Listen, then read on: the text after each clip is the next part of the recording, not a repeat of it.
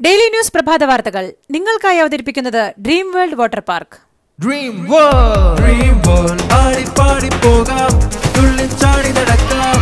മാനം മേലെ കേറാം. മാനം മുട്ടെ പാറാം ഒരേ ഒരു ടിക്കറ്റിൽ പുതുപുത്തൻ റൈഡുകൾ നിറഞ്ഞ ഡ്രീം വേൾഡും തണുപ്പിന്റെ വിസ്മയമായ സ്നോ വേൾഡും ഈ അവധിക്കാലം ഡ്രീം വേൾഡിൽ തന്നെ. Dream world water park Chalakudy.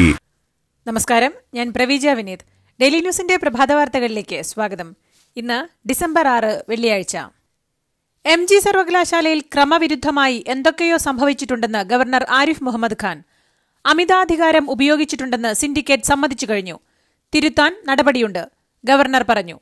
Syndicate അംഗം ഉത്തരക്കടലാസുകൾ കൈക്കലാക്കിയ സംഭവത്തിൽ ഗവർണർ വൈസ് ചാൻസലറോട് വിശദീകരണം ചോദിച്ചു. നടി മഞ്ജു വാര്യരുടെ പരാതിയിൽ സംവിധായകൻ വി എ ശ്രീകുമാർ മേനോനെ അറസ്റ്റ് ചെയ്ത് ജാമ്യത്തിൽ വിട്ടു. തൃശൂർ പോലീസ് ക്ലബ്ബിൽ ശ്രീകുമാറിനെ മണിക്കൂറുകളോളം ചോദ്യം ചെയ്തിരുന്നു. അന്വേഷണ ഉദ്യോഗസ്ഥനായ എസ് പി ശ്രീനിവാസന്റെ നേതൃത്വത്തിലാണ് ചോദ്യം ചെയ്തത്. സി പി എം സംസ്ഥാന സെക്രട്ടറി കോടിയേരി ബാലകൃഷ്ണൻ ചികിത്സയ്ക്ക് അവധിയെടുക്കും. പുതിയ സംസ്ഥാന സെക്രട്ടറിയെ തിരഞ്ഞെടുക്കില്ല. താൽക്കാലിക ചുമതല എം വി ഗോവിന്ദന്. മാധ്യമപ്രവർത്തകയുടെ വീട്ടിൽ അതിക്രമിച്ചു കയറി ഭീഷണിപ്പെടുത്തിയെന്ന കേസിൽ തിരുവനന്തപുരം പ്രസ് ക്ലബ് സെക്രട്ടറി രാധാകൃഷ്ണനെ പോലീസ് അറസ്റ്റ് ചെയ്തു. രാധാകൃഷ്ണന്റെ അറസ്റ്റ് ആവശ്യപ്പെട്ട് വനിതാ മാധ്യമപ്രവർത്തകർ പ്രസ് ക്ലബിൽ പ്രതിഷേധ സമരം നടത്തിയിരുന്നു. ജി എസ് ടി കുടിശ്ശിക തരാത്ത കേന്ദ്ര സർക്കാരിനെതിരെ സുപ്രീംകോടതിയെ സമീപിക്കുമെന്ന് ധനമന്ത്രി തോമസ് ഐസക്. ഫെഡറൽ സംവിധാനത്തെ തകർക്കാനാണ് കേന്ദ്രം ശ്രമിക്കുന്നതെന്നും അദ്ദേഹം ആരോപിച്ചു. ശമ്പളം മുടങ്ങുന്നതിനെതിരെ സി ഐ ടി യുവിന് പിറകെ കെ എസ് ആർ ടി സിയിലെ പ്രതിപക്ഷ തൊഴിലാളി സംഘടനയും സെക്രട്ടേറിയറ്റിനു മുന്നിൽ അനിശ്ചിതകാല സത്യാഗ്രഹ സമരം തുടങ്ങി. തുടർച്ചയായി മൂന്നാം മാസവും കെ എസ് ആർ ടി സിയിലെ ശമ്പള വിതരണം മുടങ്ങിയിരിക്കുകയാണ്. തിരുവനന്തപുരം കൈതമുക്കിൽ നാല് കുട്ടികളെ ശിശുക്ഷേമ സമിതിക്ക് കൈമാറിയ സ്ത്രീയുടെ ഭർത്താവ് കുഞ്ഞുമോൻ അറസ്റ്റിൽ. ഭാര്യയെയും കുട്ടികളെയും മർദ്ദിച്ചെന്ന പരാതിയിലാണ് കുഞ്ഞുമോനെ വഞ്ചിയൂർ പോലീസ് അറസ്റ്റ് ചെയ്തത്. കരുവാരക്കുണ്ട് ഹയർ സെക്കൻഡറി സ്കൂളിൽ രാഹുൽ ഗാന്ധിയുടെ പ്രസംഗം തർജമ ചെയ്ത് വാർത്തകളിൽ ഇടം നേടിയ പ്ലസ് ടു വിദ്യാർത്ഥിനി സഫയ്ക്ക് അഭിനന്ദനവുമായി വിദ്യാഭ്യാസ മന്ത്രി സി രവീന്ദ്രനാഥ്. പൊതുവിദ്യാഭ്യാസ മേഖലയുടെ മേന്മയ്ക്കും മികവനും നേർസാക്ഷ്യമാണ് ഈ പെൺകുട്ടിയെന്ന് മന്ത്രി ഫേസ്ബുക്കിൽ. വിഷമിപ്പിച്ചെങ്കിൽ മാപ്പ് പറയുന്നെന്ന് ജസ്റ്റിസ് അരുൺ മിശ്ര. സുപ്രീംകോടതിയിലെ സീനിയർ അഭിഭാഷകരുടെ പ്രതിഷേധത്തിനൊടുവിലാണ് ജഡ്ജിയുടെ ഖേദപ്രകടനം. ഭൂമി ഏറ്റെടുക്കൽ നിയമവുമായി ബന്ധപ്പെട്ട കേസിൽ വാദം നടക്കവെ സീനിയർ അഭിഭാഷകൻ ഗോപാൽ ശങ്കരനാരായണനെതിരെ കോടതിയലക്ഷ്യ ഭീഷണി മുഴക്കിയതിനെതിരെയാണ് പ്രതിഷേധിച്ചത്. അഭിഭാഷക സമൂഹത്തെ അമ്മയെപ്പോലെ സ്നേഹിക്കുന്നുണ്ടെന്ന് അരുൺ മിശ്ര പറഞ്ഞു. നീ ഇതുവരെ നിന്റെ ബാറ് മാറ്റിയില്ലേ? എച്ചിൽ പാത്രങ്ങളിൽ ബാക്ടീരിയ പത്തൊമ്പത് മിനിറ്റിൽ എഴുന്നൂറ് പെർസെന്റ് വളരുന്നു. പുതിയ ആന്റി ബാക്ടീരിയ എക്സോയിൽ ഇഞ്ചിയുണ്ട്. സൈക്ലോസാനിന്റെ പവറിനൊപ്പം ഇനി ഇഞ്ചിയുടെ ഗുണങ്ങളും. അതായത് ബാക്ടീരിയയുടെ മേൽ ഡബിൾ ആക്രമണം.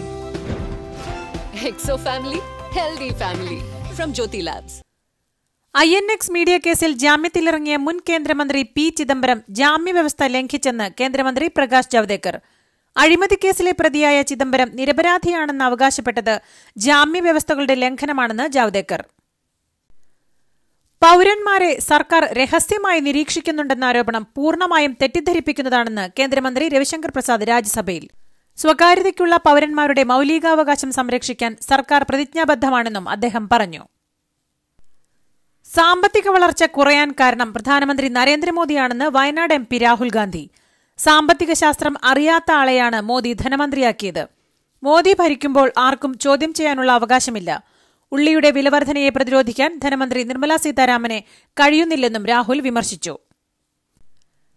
കടലിൽ സംശയകരമായ സാഹചര്യത്തിൽ കാണുന്ന കപ്പലുകളെയോ ബോട്ടുകളെയോ പരിശോധിക്കാനും പിടിച്ചെടുക്കാനുമുള്ള അധികാരം തീരസംരക്ഷണ സേനയ്ക്ക് നൽകി. കേന്ദ്ര പ്രതിരോധ മന്ത്രാലയം ഇതു സംബന്ധിച്ച വിജ്ഞാപനം പുറത്തിറക്കി. വില കത്തിക്കയറുന്ന ഉള്ളി ജീവിതത്തിൽ ഒരിക്കലും കഴിച്ചിട്ടേയില്ലെന്ന് കേന്ദ്രമന്ത്രി അശ്വിനി ചൌബെ. താനൊരു ശുദ്ധ സസ്യാഹാരിയാണ്. അതിനാൽ ഉള്ളി കഴിച്ചിട്ടില്ല. ഉള്ളി ക്ഷാമത്തെക്കുറിച്ച് അറിയില്ലെന്നുമാണ് മന്ത്രിയുടെ പ്രതികരണം.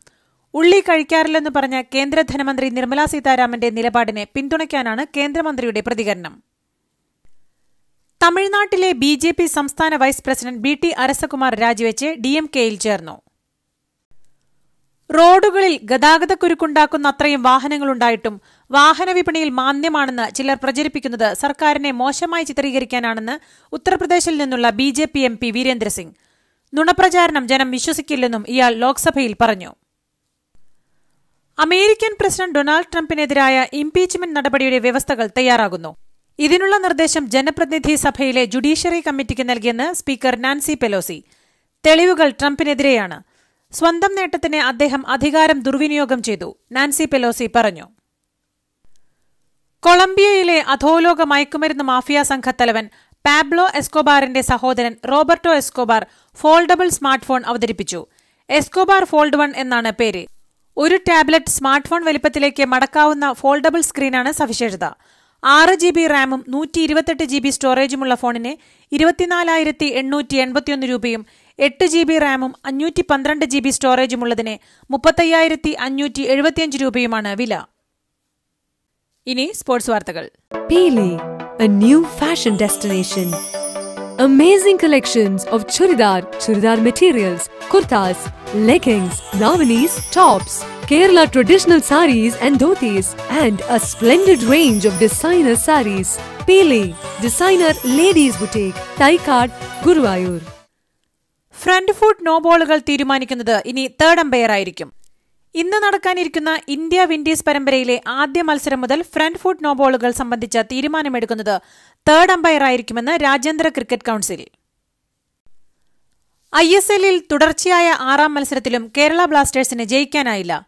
മുംബൈ സിറ്റിക്കെതിരായ മത്സരത്തിൽ ഓരോ ഗോൾ വീതമുള്ള സമനില വഴങ്ങാനേ ബ്ലാസ്റ്റേഴ്സിന് കഴിഞ്ഞുള്ളൂ. ഐ എസ് എല്ലിൽ ഇന്ന് മത്സരമില്ല. ഇന്ത്യ വെസ്റ്റ് ഇൻഡീസ് ആദ്യ ട്വന്റി ട്വന്റി മത്സരം ഇന്ന് രാത്രി ഏഴിന് ഹൈദരാബാദിൽ. ഞായറാഴ്ച തിരുവനന്തപുരം കാര്യവട്ടം സ്റ്റേഡിയത്തിൽ നടക്കുന്ന തുടർ മത്സരത്തിന് വിപുലമായ ഒരുക്കങ്ങൾ.